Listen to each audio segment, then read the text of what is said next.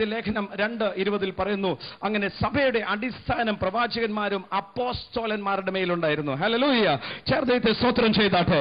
എന്താണ് apostolic doctrine എന്ന് പറയുന്നത്? അപ്പോസ്തലന്മാർ പഠിപ്പിച്ചത്. അപ്പോസ്തലന്മാർ പഠിപ്പിച്ചത് മുഴുവൻ പുതിയ സൃഷ്ടിയെ കുറിച്ചായിരുന്നു പറഞ്ഞാട്ടെ പുതിയ സൃഷ്ടി. ഹല്ലേലൂയ സാധാരണ പഴയ നിയമത്തിൽ എങ്ങും കാണാത്ത ഒരു പുതിയ അധ്യായം കഴിഞ്ഞ ദിവസങ്ങളിൽ കർത്താവായ യേശു ക്രിസ്തു ആ ബ്ലഡ് കവനന്റ് എന്ന സി ഡി നിങ്ങൾ വാങ്ങിച്ചിട്ടുണ്ട് ഞാൻ വിശ്വസിക്കുന്നു. ആ സി ഡി മിസ് ചെയ്യരുത്. അത് ടൈപ്പ് ചെയ്ത് നിങ്ങൾ അടുത്ത ആളിന് കൊടുത്തുകൊണ്ടിരിക്കണം. വലിയ വലിയ പ്രവൃത്തി അവിടെ നടന്നുകൊണ്ടിരിക്കുന്നത് ഹല്ലേലൂയ ആ യേശു ക്രിസ്തു യേശു ക്രിസ്തു തന്റെ കയ്യിൽ ആ രക്തം എടുത്തുകൊണ്ട് ഇങ്ങനെ പറഞ്ഞു ഇത് എന്റെ രക്തം ഇത് നിങ്ങൾ വാങ്ങി പാനം ചെയ്യുവീൻ. അനേകരുടെ പാപമോചനത്തായി അത് ചൊരിയപ്പെടുന്ന പുതിയ നിയമത്തിലെ രക്തം. പറഞ്ഞാട്ടെ പുതിയ നിയമത്തിലെ രക്തം. പുതിയ നിയമം എങ്ങനെയാണ് ആരംഭിച്ചത്? ആ പുതിയ നിയമം ആരംഭിച്ചത് അപ്പോസ്തലന്മാര് എല്ലാവരും കാത്തിരിക്കുന്ന സമയത്ത് പരിശുദ്ധാത്മാവ് അവരുടെ മേൽ വന്നു. പരിശുദ്ധാത്മാവ് അവരുടെ മേൽ വന്നപ്പോൾ അവരുടെ അകത്തെ മനുഷ്യൻ വീണ്ടും ജനിച്ചു. ഹലലൂയ അകത്തെ മനുഷ്യൻ ജനിച്ചു. അതുവരെയും കാണാത്ത ഒരു സംഭവമാണ് അകത്തെ മനുഷ്യൻ. പഴയ നിയമത്തിൽ എങ്ങും നിങ്ങൾ കാണത്തില്ല അകത്തെ മനുഷ്യനെ കുറിച്ച്. അവരുടെ എല്ലാം ആ പഴയ നിയമത്തിലെ വ്യക്തികളെ നിങ്ങൾ ശ്രദ്ധിച്ചാൽ അവർ മുഴുവൻ സെൻസ് നോളജിലാണ് നടന്നത്. പരിശുദ്ധാത്മാവ് വന്നാലും അവരുടെ ജഡത്തിലാണ് വരുന്നത്. ഷിംഷോന്റെ മേൽ പരിശുദ്ധാത്മാവ് വന്നപ്പോൾ അയക്ക് വലിയ ശക്തിയുണ്ടായി. ജഡത്തിൽ അവരുടെ മേൽ ആത്മാവ് വന്നെങ്കിൽ നിങ്ങളുടെ ജഡത്തിലല്ല ആത്മാവ് വരുന്നത്. നിങ്ങളുടെ അകത്ത് ആത്മാവ് വരുന്നു. ആ ജഡത്തിൽ വരാത്താതെ അകത്ത് വരുന്ന ആത്മാവ് തിരിച്ചു പോകാനായിട്ടല്ല നിങ്ങളിൽ വസിക്കുവാനും നിങ്ങളിൽ പുതിയൊരു സൃഷ്ടിയുടെ ആരംഭത്തിന് വേണ്ടിയാണ് പരിശുദ്ധാത്മാവ് വന്നത്. ചേർന്ന് സ്വത്രം ചെയ്താട്ടെ.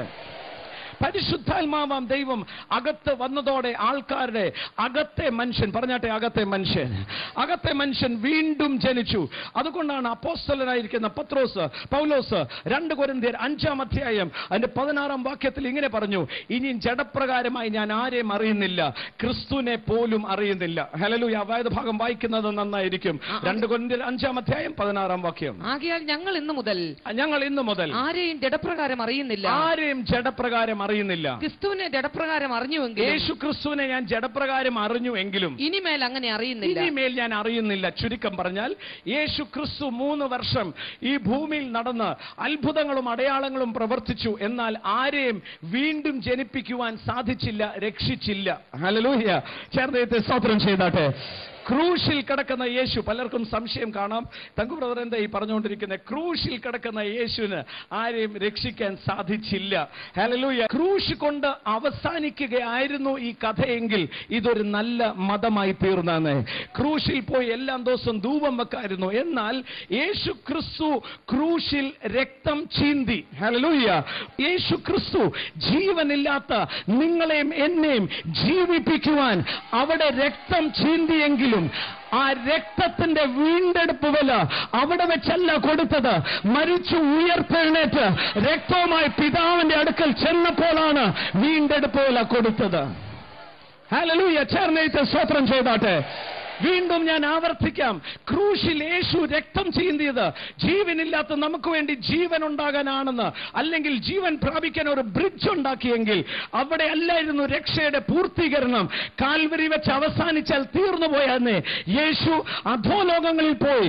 കല്ലറയിൽ നിന്നും വീണ്ടും താൻ ജനിച്ച് തന്റെ സ്വന്തം രക്തമായി കൈകളാൽ നിർമ്മിക്കപ്പെടാത്ത അതിവിശുദ്ധ സ്ഥലത്ത് ചെന്ന് നിങ്ങളുടെയും എന്റെയും വീണ്ടെടുപ്പ് വില കൊടുത്തപ്പോഴാണ് പൂർണമായ വിടുതൽ നമുക്ക് ഉണ്ടായത്.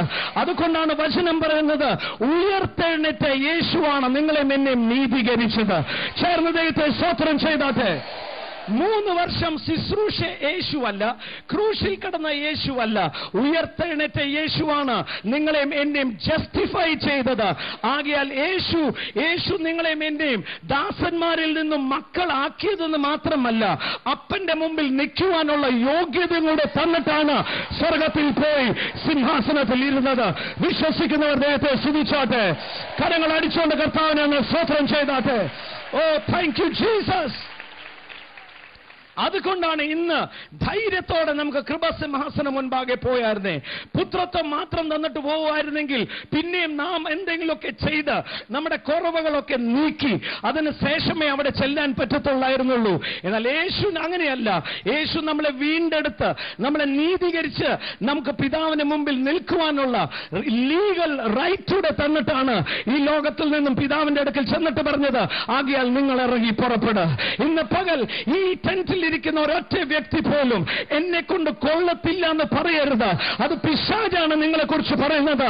എന്നാൽ സ്വർഗത്തിൽ പിതാവിന്റെ വലത്തുഭാഗത്തിൽ ഇരിക്കുന്നവൻ പറയും നിനക്ക് നിന്നെ കൊണ്ട് കഴിയും. നീ കൊള്ളുന്നവനാണ് നീ നീതീകരിക്കപ്പെട്ടവനാണ്. നീ വീണ്ടെടുക്കപ്പെട്ടവനാണ്.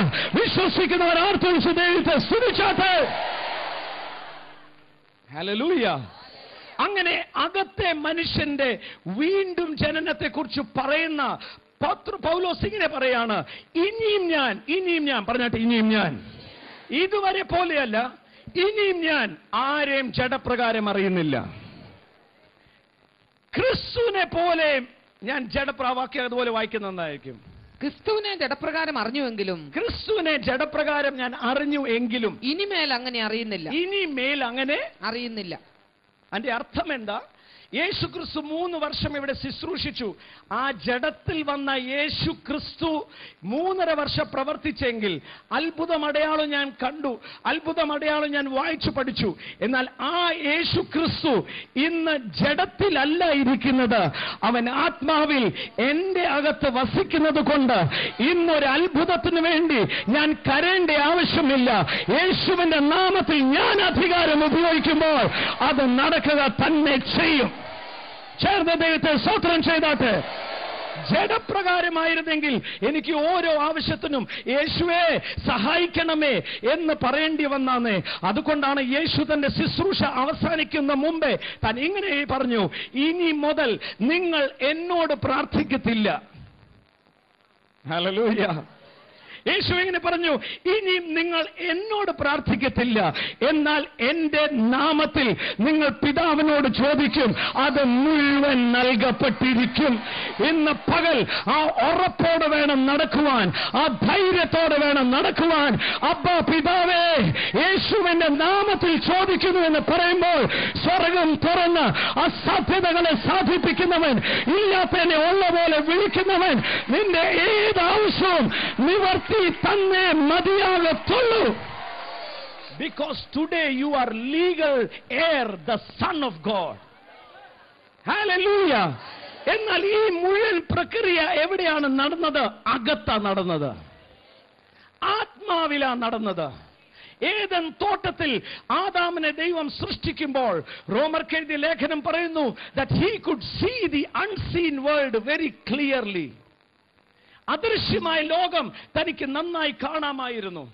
എന്നാൽ പാപം ചെയ്ത നിമിത്തം ആ ഫെക്കൽറ്റി അടഞ്ഞുപോയി.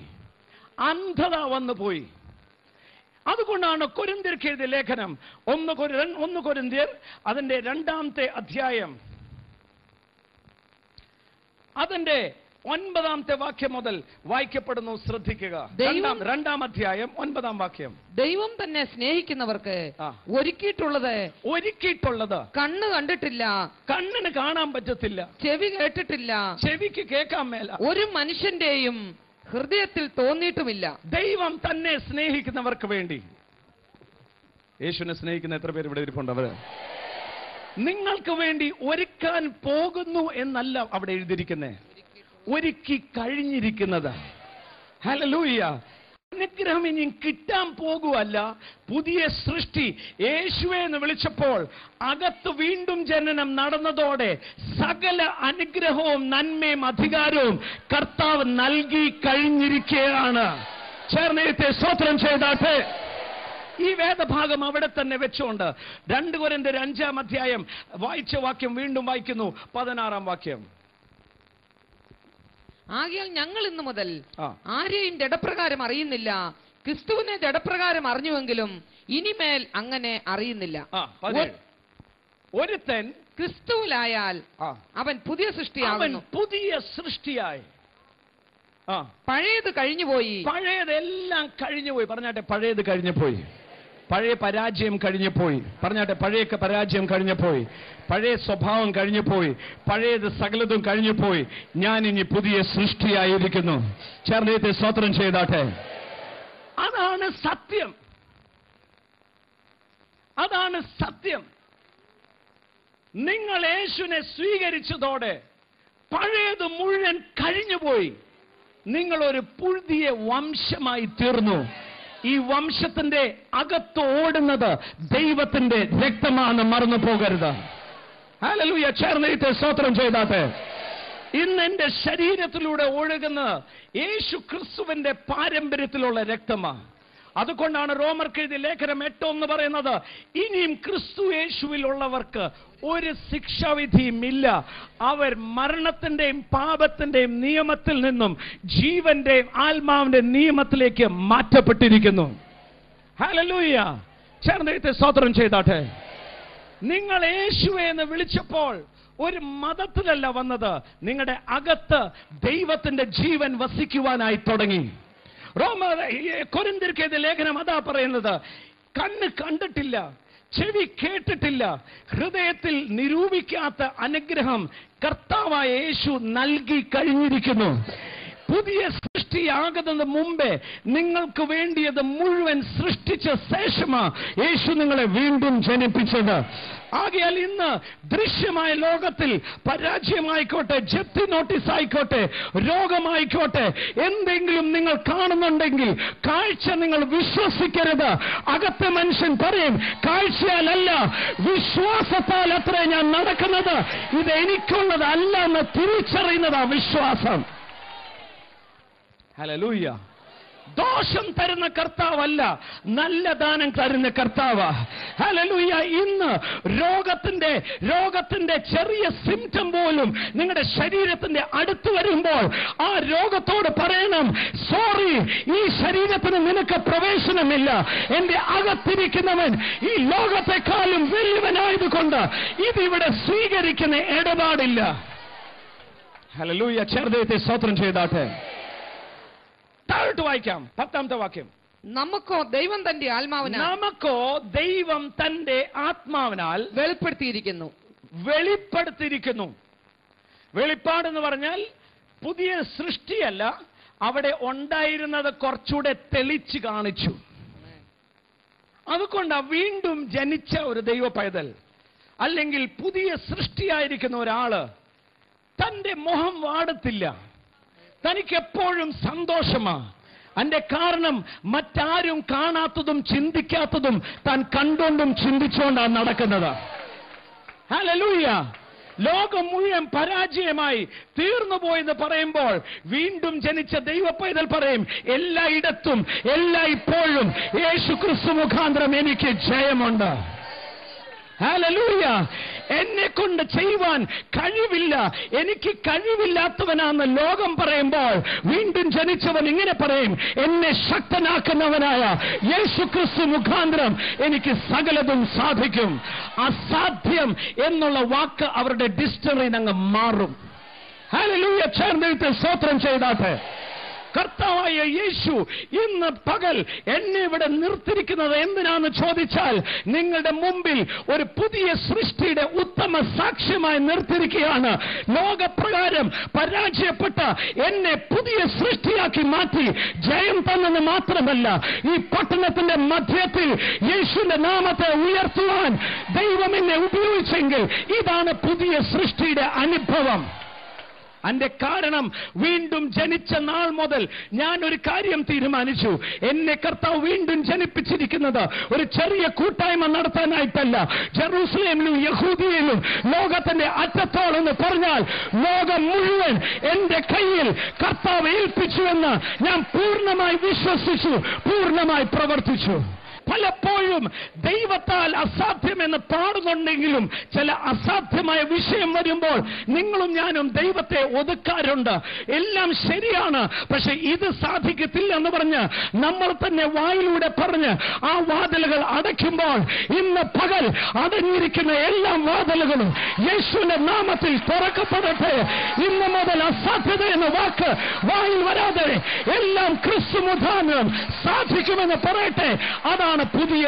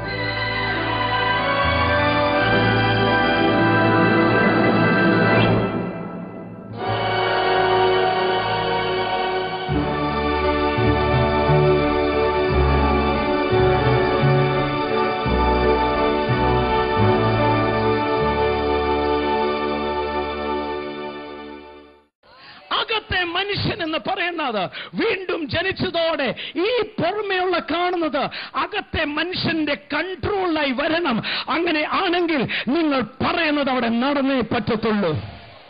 അതാണ് പുതിയ നിയമം. പുതിയ നിയമത്തിൽ അകത്തെ മനുഷ്യൻ വീണ്ടും ജനിച്ചു. അവന് ദൈവത്തിന്റെ മുഴുവൻ ഗുണമുണ്ട്. ദൈവത്തിന്റെ അനുഗ്രഹം മുഴുവനുണ്ട്. സാത്താൻ അറപ്പാനും മുടിപ്പാനും മോഷ്ടിപ്പാനും വരുമ്പോൾ ഞാൻ നിങ്ങൾക്ക് ജീവൻ നൽകുവാനും സമർത്ഥിയായി ജീവൻ നൽകുവാനും എന്ന് യേശു പറഞ്ഞത് തന്റെ ജീവൻ നമ്മുടെ അകത്ത് നിറയ്ക്കുന്ന കാര്യമായിരുന്നു. ഹലലൂയ ചേർന്നെഴുത്തെ സ്വോത്രം ചെയ്താട്ടെ. അടുത്തിരിക്കുന്ന ആളുകൾ ഒന്നുകൂടെ തൊട്ട് പറയണം ഒരിക്കലും ഒതുങ്ങി ഒതുങ്ങിപ്പോകരുത്. ഒരിക്കലും അതിർത്തി ഉണ്ടാക്കരുത്. എന്നെ കൊണ്ട് ഇതേ നടക്കത്തുള്ളൂ എന്ന് പറയരുത്. എന്നെ കൊണ്ട് ഇത്രേ നടക്കത്തുള്ളൂ എന്ന് നിങ്ങൾ ചിന്തിച്ചാൽ നിങ്ങൾ ദൈവത്തെ അവിടെ കൊണ്ട് ഒതുക്കുക ചെയ്യുന്നത്. എന്നാൽ പുതിയ സൃഷ്ടി അങ്ങനെയല്ല. അവൻ യേശു പറയുന്നത് പോലെ പറയും. മരിച്ചു കിടക്കുന്ന കുഞ്ഞിനെ കണ്ടാലും പറയും ആ കുഞ്ഞ് ഉറങ്ങുകയാണ്. ഇപ്പോഴും സാധ്യതയുണ്ട്. എന്ന് പറയുന്നവനാണ് പുതിയ സൃഷ്ടി. വിശ്വസിക്കുന്നവരെ നാർത്തി വിളിച്ച് ജയ എന്ന് പറഞ്ഞാട്ടെ. ഹാലലൂയ ഹാലലൂയ ഇത് സ്വർഗീയ വിരുന്നിൽ ചേരുന്ന ഇടപാടല്ലെന്ന്. ഇത് ബോർഡ് വെച്ചിരിക്കുന്ന ഒരു സംഘടനയിൽ ചേർന്ന ഇടപാടല്ല. ഇത് ക്രൈസ്തവ മതത്തിൽ ചേർന്ന ഇടപാടല്ല. യേശു വന്നത് ഒരു മതം സ്ഥാപിക്കാനല്ല.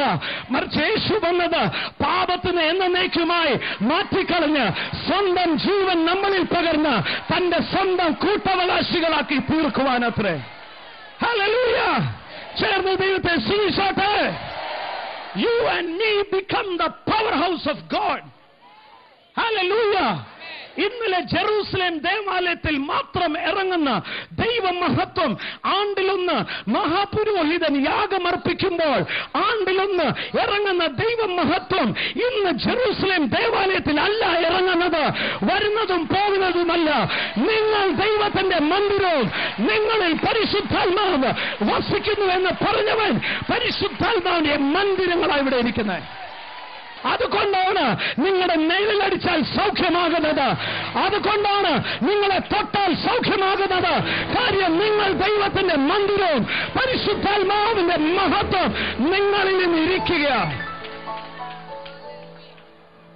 ഈ അകത്തെ മനുഷ്യൻ അവന്റെ കണ്ണൊന്ന് പ്രകാശിക്കണം.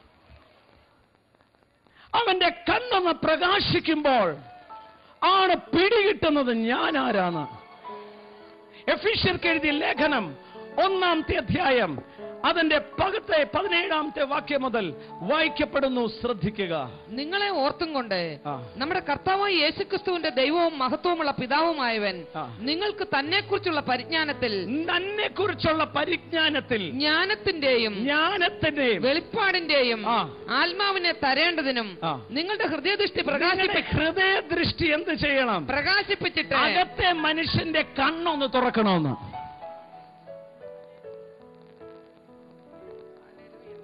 അകത്തെ മനുഷ്യനെ ഒന്ന് ബലപ്പെടുത്തണമെന്ന്.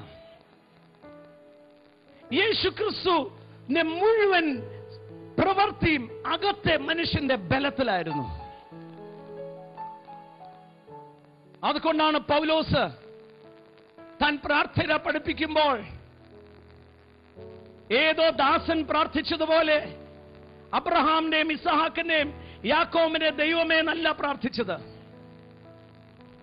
യാബേസ് പ്രാർത്ഥിച്ചതുപോലെ എന്നെ അനുഗ്രഹിക്കണമേ എന്ന് പ്രാർത്ഥിച്ചതല്ല.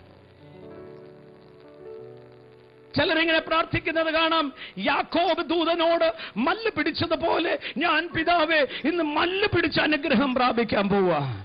ഇന്ന് നിങ്ങളും ഞാനും മല്ല് പിടിക്കേണ്ട ക്രിസ്തു മുഖാന്തരം അനുഗ്രഹിച്ച് കഴിഞ്ഞിരിക്കുക എന്നാൽ പൗലോസ് ഒരു പ്രാർത്ഥന പഠിപ്പിച്ചു. ആ പ്രാർത്ഥനയുടെ സാരാംശം ഇതാണ്. അകത്തെ മനുഷ്യനൊന്ന് ബലപ്പെടണം. എല്ലാവരും എടുത്താട്ടെ എഫിഷ്യർക്ക് എഴുതിയ ലേഖനം മൂന്നാമത്തെ അധ്യായം. ഹലലൂയ മൂന്നാമത്തെ അധ്യായം അതിന്റെ പതിനാറാമത്തെ വാക്യം മുതൽ വായിച്ചാട്ടെ. എല്ലാവരും എല്ലാവരും എല്ലാവരും ഒന്നിച്ച് വായിക്കാൻ പോവാം. ഓ ശഖറദരിയാന്ധുരബ എല്ലാവരും എല്ലാവരും ചേർന്ന് ഒരു മനസ്സോടെ വായിച്ചാട്ടെ. അവൻ തന്റെ മഹത്വത്തിന്റെ ധനത്തിനൊത്തവണ്ണം അവന്റെ ആത്മാവിനാൽ. അവന്റെ ആത്മാവിനാൽ. നിങ്ങൾ അകത്തെ മനുഷ്യനെ നിങ്ങളുടെ ആരെയാണ് അകത്തെ മനുഷ്യനെ അകത്തെ മനുഷ്യൻ. പറഞ്ഞാട്ടെ അകത്തെ മനുഷ്യൻ. ആ. ശക്തിയോടെ ബലപ്പെടേണ്ടതിനും. ശക്തിയോടെ. ബലപ്പെടേണ്ടതിനും. പുറമെയുള്ള മനുഷ്യനല്ല. ലോകം മുഴുവൻ പുറമെയുള്ള മനുഷ്യന് ബലം പ്രാപിക്കാൻ ജിംനാസ്യത്തിലും ബ്യൂട്ടി പാർലറിലും പോയിക്കൊണ്ടിരിക്കുമ്പോൾ പവർ മാൾട്ടും ജീവൻ ടോണൊക്കെ കഴിച്ചുകൊണ്ടിരിക്കുമ്പോൾ പകർത്തെ മനുഷ്യനെ ബലപ്പെടുത്താൻ നോക്കുക. തോമസ് പറയാ വലിയ മസിൽ ഇറക്കിക്കൊണ്ടിരിക്കുമ്പോൾ പിശാചിനെ കാണുമ്പോൾ ഓടിപ്പോവും. ഹലലൂയ്യ എന്നാൽ വീണ്ടും ജനിച്ച ദൈവ പൈതൽ അവന്റെ പുറമെ മനുഷ്യനല്ല. അവന്റെ അകത്തെ മനുഷ്യനെ നാൾക്ക് നാൾ നാൾക്ക് നാൾ നാൾക്ക് നാൾ നാൾക്ക് നാൾ അവൻ ബലം പ്രാപിച്ചുകൊണ്ടായിരിക്കുന്നത്. ആർത്ത് വിളിച്ച് കർത്താവിനെ സ്തോത്രം ചെയ്താട്ടെ.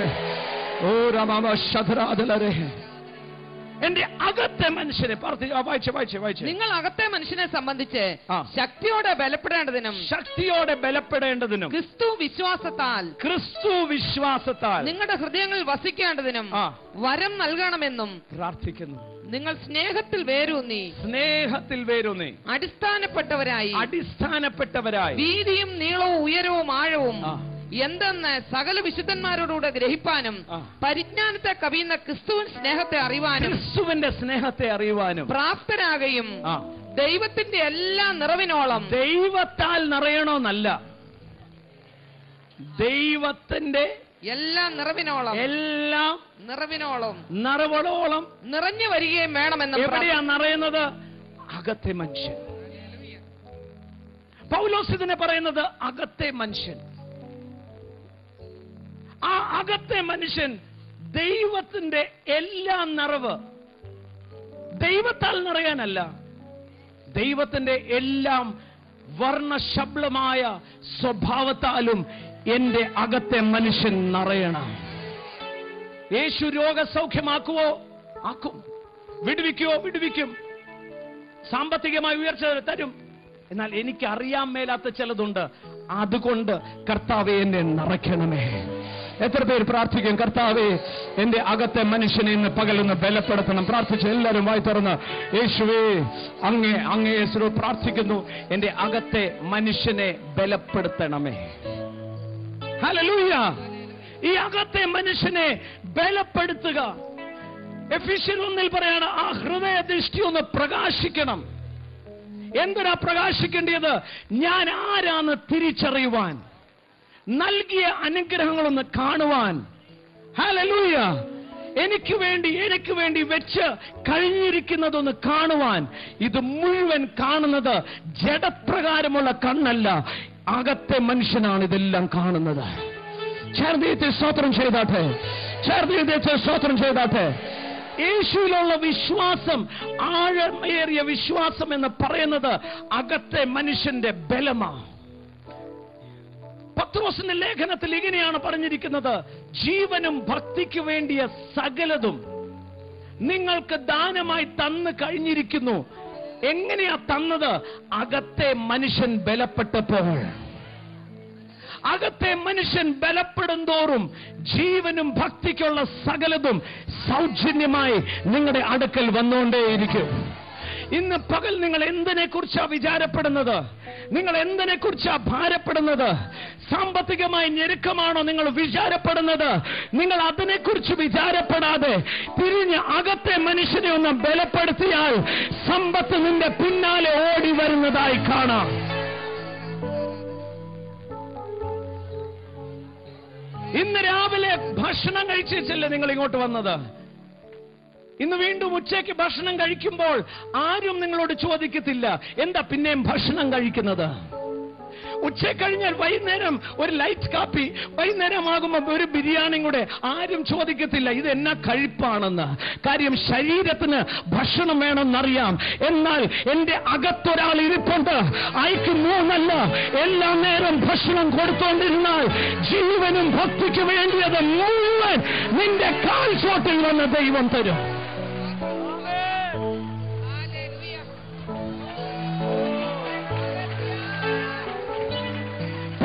മനുഷ്യന്റെ ഭക്ഷണം വായിക്കൂടെ കഴിക്കുമ്പോൾ അല്ലെങ്കിൽ അകത്തെ മനുഷ്യൻ അവൻ ചെവിയിലൂടെയും കണ്ണിലൂടെയും ഹൃദയത്തിലൂടെയും ദൈവവചനം എന്ന ആഹാരം അവൻ കഴിച്ച് ദൈവത്തിന്റെ വാഗ്ദത്തങ്ങളെ കഴിച്ച് അല്ലെങ്കിൽ നാളെ പ്രശ്നം വരുമ്പോൾ ഇന്നത്തിന്റെ ബിരിയാണിയുടെ ആരോഗ്യമല്ല. നിന്റെ അകത്തിരിക്കുന്ന മനുഷ്യൻ ആത്മാവിൽ നിറഞ്ഞ് ആ പ്രതിസന്ധിയെ നേരിട്ടോട് പറയും ഇല്ല. നീ ലക്ഷിക്കത്തില്ല നീ പ്രകാശിതനായി തീരും. ചേർന്ന് ദൈവത്തെ സ്തുതിച്ചാട്ടെ കരങ്ങൾ അടിച്ചോണ്ട് കരങ്ങൾ അടിച്ചോണ്ട്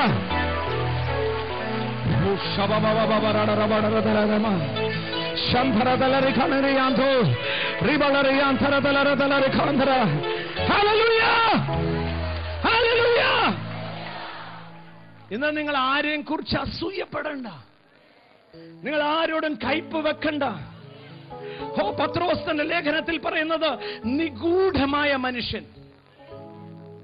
മറഞ്ഞിരിക്കുന്നവൻ ഒതുങ്ങി അകത്തിരിക്കുന്നവൻ.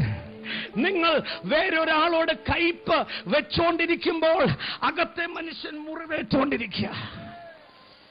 ഹലലൂയ നിങ്ങൾ ഒരാളുടെ എതിരെ സംസാരിക്കുമ്പോൾ അയാളെ കുറിച്ച് തിന്മ പറയുമ്പോൾ അകത്തെ മനുഷ്യൻ നിഗൂഢമായിരിക്കുന്നവൻ മുറിവേറ്റോണ്ട് പുറത്തെ മനുഷ്യനോട് പറയുകയാണ് ഇനിയും എന്നെ ഉപദ്രവിക്കരുത്.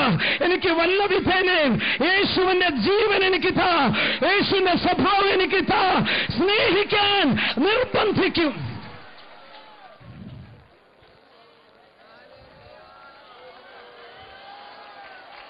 ഇന്ന് പകൽ ഞാൻ ഓർമ്മിപ്പിക്കട്ടെ. നിങ്ങൾക്കൊന്നിനും മുട്ടുവരാതെ വണ്ണം ഈ ലോകത്തിൽ അധികാരവും ജയത്തിന്റെ ജീവിതം വേണോ? ക്രിസ്തുവിന്റെ ജീവൻ നിങ്ങളിൽ നിറഞ്ഞു നിൽക്കുമ്പോൾ അകത്തെ മനുഷ്യൻ ആരോഗ്യപരമായി നടക്കുമ്പോൾ നിങ്ങൾ ഒന്നിനെ കുറിച്ചും വിചാരപ്പെടേണ്ട ആവശ്യമില്ല. ലോകം പറയും കുറച്ച് ചതിവില്ലെങ്കിൽ ഈ ലോകത്തിൽ ജീവിക്കാൻ മേല. കുറച്ചൊക്കെ വളഞ്ഞ മാർഗം വേണം. എന്നാൽ അകത്തെ മനുഷ്യൻ പറയും വേണ്ടേ വേണ്ട. ഹല്ലേലൂയ. യേശു പറഞ്ഞതുപോലെ നീ ജീവിച്ചാൽ ഞാൻ ഏറ്റു ബാക്കി കാര്യങ്ങൾ. ചേർന്ന ദൈവത്തെ സ്തോത്രം ചെയ്താട്ടെ. ദൈവവചനം നിങ്ങൾ മുഴുവൻ വായിച്ചാൽ ഈ കാഴ്ചയുള്ള ലോകം മുഴുവൻ താൽക്കാലികമാ. ഇതിനേക്കാളും സത്യവും ഇതിനേക്കാളും ഉറപ്പുള്ളത് അദൃശ്യമായ ലോകത്ത്. ആ അദൃശ്യമായ ലോകത്തിൽ നിന്നും പിടിച്ചെടുക്കുന്നത് അകത്തെ മനുഷ്യന്. ചേർന്ന ദൈവത്തെ സ്വത്രം ചെയ്താട്ട്.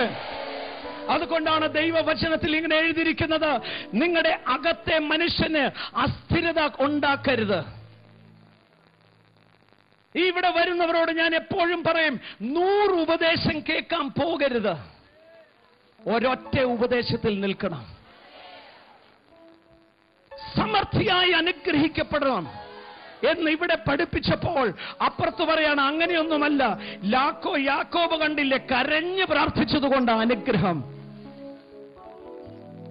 നിങ്ങൾ ഇവിടെ നിന്നും കേട്ടോണ്ട് പോയത് നിങ്ങൾക്ക് അനുഗ്രഹം ലഭിച്ചു കഴിഞ്ഞു. തിരിച്ചപ്പുറത്ത് പോയി കേട്ടത് കിട്ടിയിട്ടില്ല. കുറച്ചുകൂടെ ഒന്ന് നന്നാകാനുണ്ട്. മരുഭൂമിയുടെ അനുഭവമല്ലേ? പുറമെയുള്ള നിങ്ങൾക്കറിയാം ഇത് തെറ്റാന്ന്. പക്ഷേ മുറിവ് ഏക്കണ്ടെടുത്ത് ഏറ്റു. അകത്തെ മനുഷ്യൻ അസ്ഥിരനായി പോയി. അതുകൊണ്ട് ആ ദൈവവചനത്തിൽ പറയുന്നത് അസ്ഥിരനായിരിക്കുന്ന മനുഷ്യൻ ദൈവത്തിൽ നിന്നും ഒന്നും കിട്ടുമെന്ന് പ്രതീക്ഷിക്കരുത്. കാരണം അകത്തെ മനുഷ്യൻ അസ്ഥിരന. കാര്യം സത്യം അറിയാമെങ്കിലും നൂറ് തരത്തിലുള്ള മെസ്സേജ് കേട്ട് കേട്ട് അകത്ത് അസ്ഥിരത. നിങ്ങൾ പറയും ഞാൻ സ്നാനപ്പെട്ടവനാണ് കൂട്ടായ്മയിൽ പോകുന്നുണ്ട് എല്ലാ ഞായറാഴ്ച കർത്തമേശയുണ്ട് എന്നിട്ടും എനിക്ക് എന്താ സമൃദ്ധി വരാത്തത്? എന്താണെന്നറിയാമോ? അകത്തെ മനുഷ്യന് സ്ഥിരത വന്നിട്ടില്ല. ഹല്ലേലൂയ ഞാൻ ചലഞ്ച് ചെയ്ത് പറയാം. ക്രിസ്തുവിന്റെ ഉപദേശം മാത്രം കേട്ട് ക്രിസ്തു പറഞ്ഞിരിക്കുന്ന വഴിയിൽ നിന്നാൽ നീ ഉയർച്ച തന്നെ പ്രാപിക്കും. ഉത്താഴ്ച പ്രാപിക്കത്തില്ല. അവനെ നോക്കിയവർ പ്രകാശിതരായി.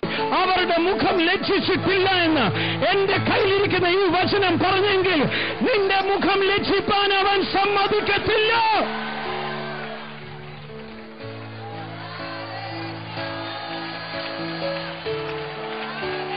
Thank you Jesus thank you Jesus ഒന്ന് ഉറപ്പിക്ക ഒന്ന് ഉറപ്പിക്ക.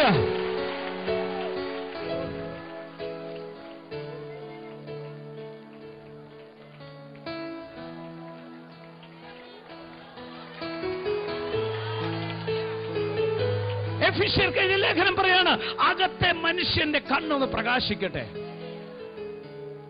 പ്രകാശിച്ചിട്ട് എന്തിനാ നിന്നെ വിളിച്ചെന്നും? വിളിക്കകത്ത് നിൽക്കുന്ന അനുഗ്രഹവും അവകാശം എന്താന്ന് മനസ്സിലാക്കിയിട്ട്. അത് മനസ്സിലാക്കിയിട്ട് എന്ത് ചെയ്യണം? അതിൽ വിശ്വസിക്കണം. ഹലലൂയ ഹലലൂയ ഹലലൂയ ഇന്ന് ആകപ്പാടെ കഷ്ടപ്പാടാണ് പട്ടിണിയാണ്. അതുകൊണ്ട് ഇത് ദൈവഹിതമാണ് പറഞ്ഞുകൊണ്ട് പട്ടിണിയെ കെട്ടിപ്പിടിക്കാതെ ഇതല്ല എന്റെ ഡെസ്റ്റിനി ഇതിനല്ല എന്നെ ദൈവം വിളിച്ചത്. ദാരിദ്ര്യത്തെ ഞാൻ യേശുവിന്റെ നാമത്തിൽ എന്റെ കുടുംബത്തിൽ ഇറങ്ങാൻ കൽപ്പിക്കുന്നു എന്ന്.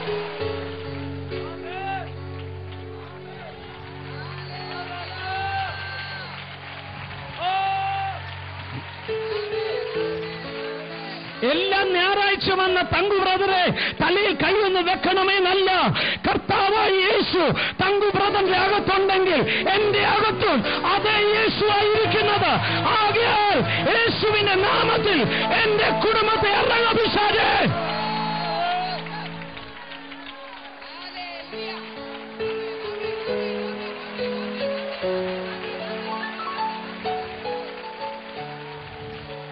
ഞാൻ രക്ഷിക്കപ്പെട്ടപ്പോൾ ഞാൻ ഓർത്തു ബെനിഹിനും ബോങ്കയും കർത്താവ് എന്നാ വലിയ പ്രവൃത്തിയാണ്. അവരുടെ മേൽ പകർന്നിരിക്കുന്ന എന്തൊരു ആത്മാവാണ്. കർത്താവ് എന്നെ തിരിഞ്ഞു നോക്കി പറഞ്ഞു അതേ പരിശുദ്ധാത്മാവ് ആണ് നിന്റെ അകത്തും ഇരിക്കുന്നത് അതേ അഭിഷേകമാണ് നിന്റെ മേലും ഇരിക്കുന്നത്. അത് ഞാൻ ഏറ്റെടുത്തു. അത് ഞാൻ ഏറ്റെടുത്തു. ഞാൻ എന്നോട് തന്നെ പറഞ്ഞു അവരാൽ ചെയ്യുന്നതിനേക്കാളും അധികം കർത്താവ് എന്റെ കയ്യാലെ ചെയ്യിച്ചെടുക്കും യേശുവിന്റെ നാമത്തിൽ അകത്തെ മനുഷ്യനെ തിരിച്ചറിയ. യേശു പറഞ്ഞു ഞാൻ ചെയ്യുന്നത് നിങ്ങൾ ചെയ്യും. അതിലധികമായി ചെയ്യും.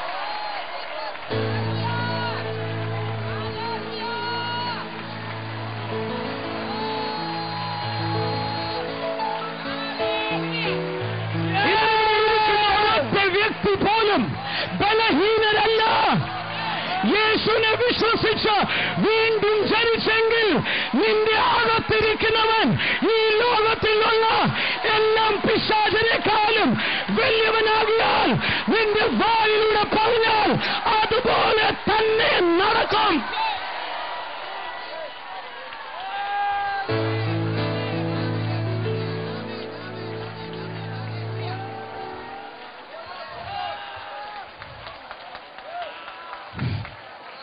എല്ലാം പരിമിതികളെ തകർക്കണം.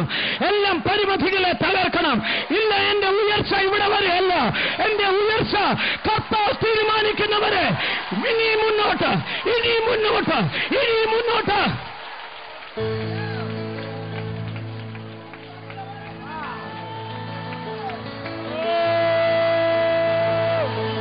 അകത്തെ മനുഷ്യൻ അകത്തെ മനുഷ്യൻ പുറമെയുള്ള മനുഷ്യൻ അകത്തെ മനുഷ്യൻ. അവൻ ബലം ബലം പ്രാപിച്ചുകൊണ്ടിരിക്കുമ്പോൾ എങ്ങനെയാണ് അവൻ ബലം പ്രാപിക്കുന്നത്?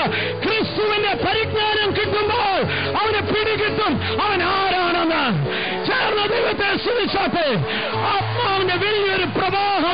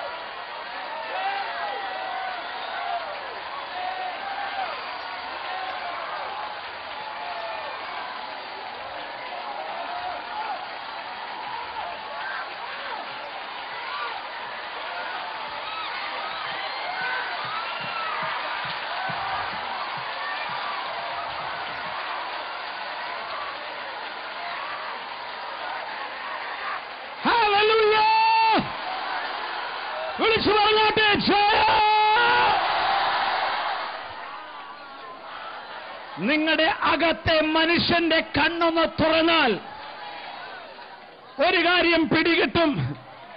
വചനം പറയുന്നു ക്രിസ്തുവിന്റെ അകത്തുണ്ടായിരുന്ന അതേ പരിശുദ്ധാത്മാവ് നിങ്ങളുടെ അകത്തു നിന്ന് വ്യാപരിക്കുന്നു. ക്രിസ്തുവിന്റെ അകത്തെ ആത്മാവ് എന്താണെന്നറിയാമോ? വചനം പറയുന്നു അവനെ മരണത്തിൽ നിന്നും എഴുന്നേൽപ്പിച്ചു.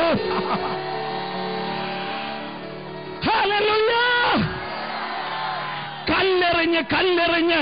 പൗലോസിനെ കല്ലെറിഞ്ഞ്.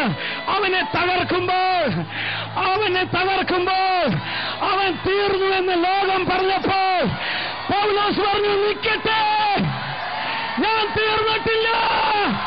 ഞാൻ തീർന്നിട്ടില്ല. എന്റെ അകത്തിരിക്കുന്നവൻ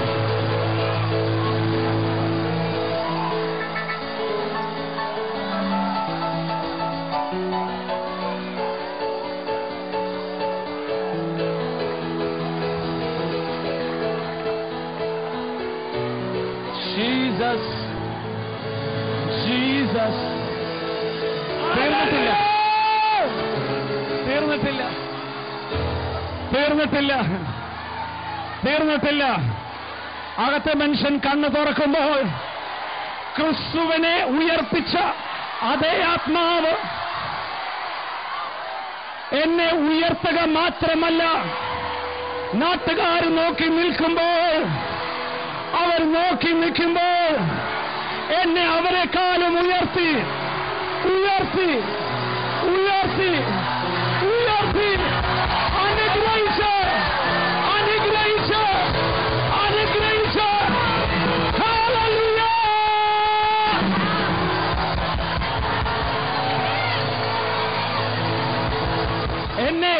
തള്ളാൻ വരട്ടെ.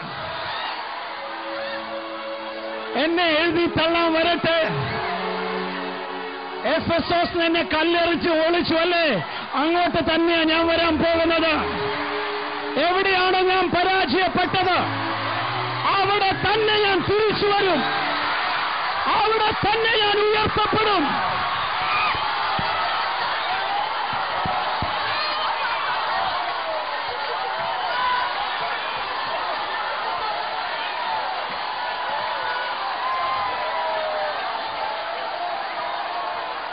സംശയിക്കേണ്ട. സംശയിക്കേണ്ട. സംശയിക്കേണ്ട. ഏത് കോട്ടയം പട്ടണമാണ് ഈ ഉള്ളവനെ തകർത്തത്? അതേ കോട്ടയം പട്ടണത്തോട് മധ്യത്തിൽ നിന്നുകൊണ്ട് ഉയർച്ചയുടെ യേശുവിനെ പ്രസംഗിക്കുവാൻ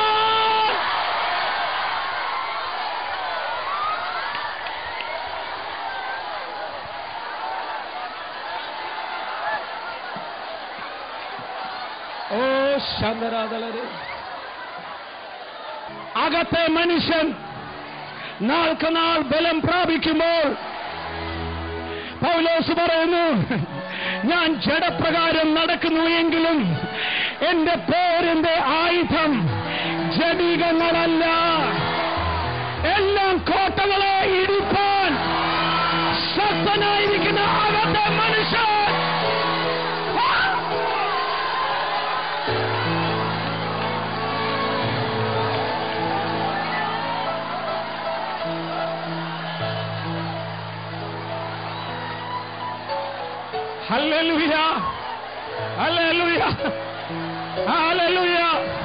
ഞാൻ ചടപ്രകാരം നടക്കുന്നുണ്ടെങ്കിലും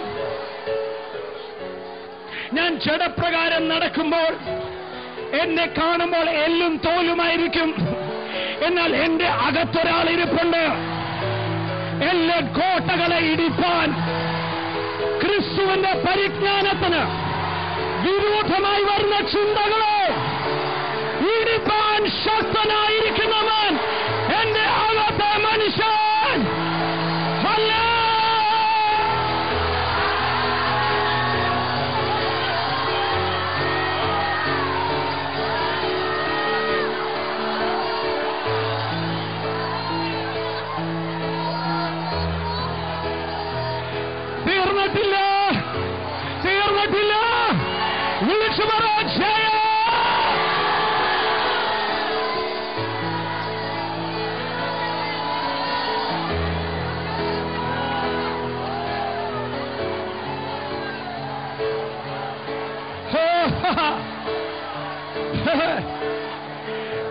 സൃഷ്ടിയെ പാമ്പ് കടിച്ചാൽ.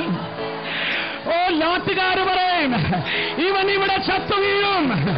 ഇപ്പോൾ തന്നെ ചത്തു വീഴും. എന്നാൽ പുതിയ സൃഷ്ടി പറയും യേശുവിന്റെ നാമത്തിൽ യേശുവിന്റെ നാമത്തെ ഇന്ന് പകൽ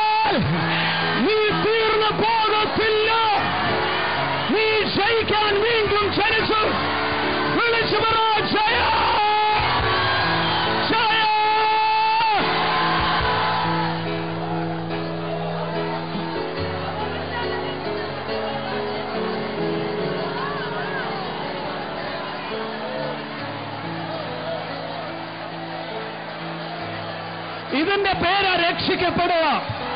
ഇതിന്റെ പേര് രക്ഷിക്കപ്പെടുക. രക്ഷിക്കപ്പെടുക എന്ന് പറയുമ്പോൾ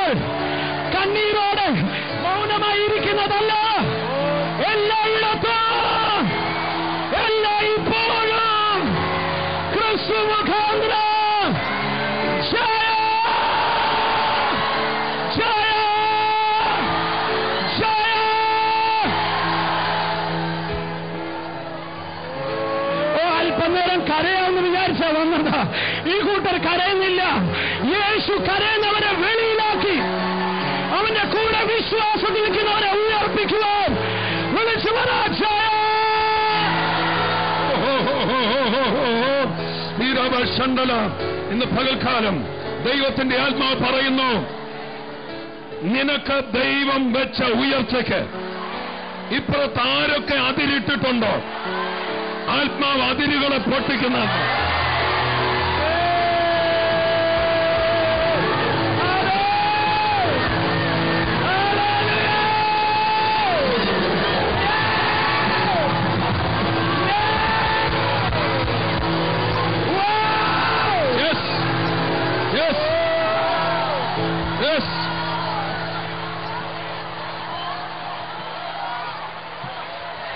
കുഞ്ഞുണ്ടാകാലെന്ന് ആരാ പറഞ്ഞു? നിനക്ക് കുഞ്ഞുണ്ടാകാലെന്ന് ആരാ പറഞ്ഞു? യെസ് യെസ് നീ മുപ്പത് വയസ്സിനപ്പുറത്ത് ജീവിക്കാലെന്ന് ആരാ പറഞ്ഞു? നാൽപ്പത്തഞ്ച് വയസ്സ് വരെ നിനക്ക് കണ്ടക ശനിയെന്ന് ആരാ പറഞ്ഞു? സാത്താനിട്ട് അതിരിനെ പൊട്ടിക്കുക. സാത്താനിട്ട് അതിരിനെ പൊട്ടിക്കുക. നിന്റെ കുടുംബത്തിൽ പാരമ്പര്യ ശാപമാണെന്ന് ആരാ പറഞ്ഞു?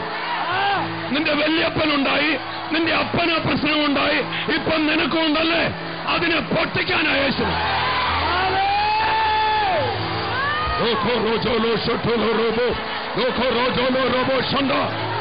അത് നിന്റെ കാര്യമല്ല. നീ പുതിയ സൃഷ്ടിയ. ഒരു ബാധയും നിനക്കിട്ട് അടുക്കത്തിൽ ഒരു ശാപവും നിനക്കിട്ട് അടുക്കത്തിൽ അത് പഴയ സൃഷ്ടിയുടെ മേൽ. അത് പാപിയുടെ മേൽ. എന്റെ കയ്യിൽ ബുൾഡോസർ ഇല്ല എന്റെ കയ്യിൽ തോക്കില്ല. എന്നാൽ അതിനേക്കാളും ശക്തമായിരിക്കുന്ന വിശ്വസിക്കുമ്പോൾ വ്യാപരിക്കുന്ന ആത്മാവിന്റെ ശക്തിയാൽ എല്ലാ കോട്ടകളെയും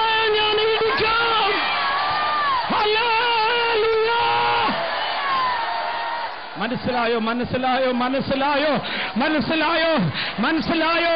യേശു പറഞ്ഞിട്ടുള്ളത് അപ്പോസ്തലൻ പറഞ്ഞിട്ടുള്ളത് അത് മാത്രമേ വിശ്വസിക്കാവുള്ളൂ. ഉപദേശി പറഞ്ഞതല്ല അത് ഡോക്ടർമാർ പറഞ്ഞതല്ല ഏത് പത്രവാർത്തയല്ല. എന്നെ കുറിച്ച് പറഞ്ഞിരിക്കുന്നത് ഞാൻ ഉയർച്ച തന്നെ പ്രാപിക്കാം. താഴ്ച പ്രാപിക്കത്തില്ല.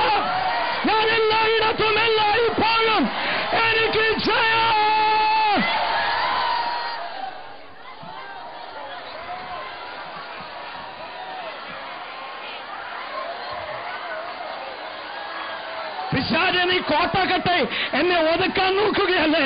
യേശുവിന്റെ നാമത്തിൽ എന്റെ ചുറ്റുന്ന നോടയുടെ കോട്ടകളെ യേശുവിനോടുള്ള അനുസരണത്താൽ ഇടിച്ചു